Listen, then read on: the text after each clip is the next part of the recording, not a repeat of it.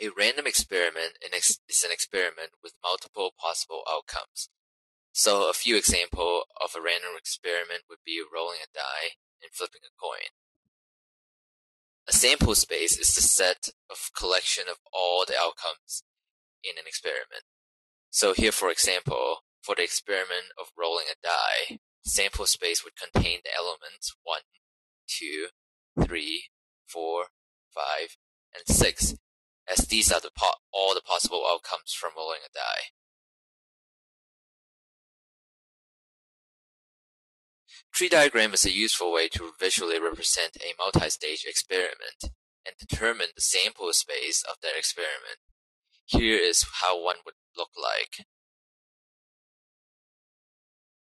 So you're going to learn how to make a tree diagram.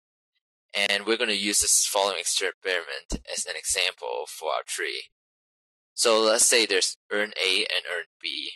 Urn A has the ball number 1, 2, and 3 and urn B has ball colored green and red. You're going to first choose an urn and then draw a ball from it. So first let's go over the basics of a tree diagram. The branches represent the outcomes of a particular stage. And I personally like to vertically line up each stage to make it more organized. So here you can see branches representing possible outcomes of stage one and more branches branching off to represent outcomes of stage two. Without further ado, let's do our problem.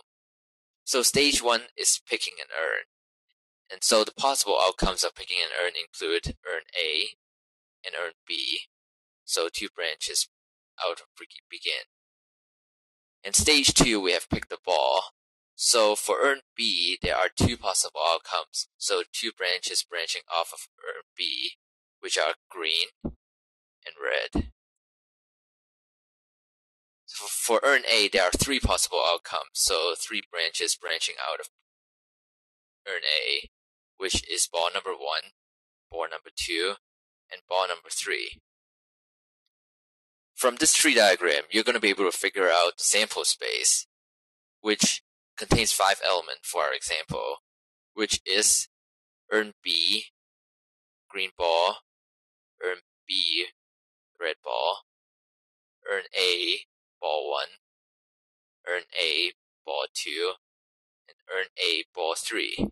So here you have B green, B red, A1, A2, and A3 for a total of five elements in the sample space. A common mistake that many students make is to put down a repeated outcome multiple times. So let's say for our urn B, there were actually two green balls. Well, when you draw the tree, you will still only make one branch for the green because it's only one possible outcome. Making two separate branches for one outcome would be incorrect, as shown here by this example. So this is incorrect.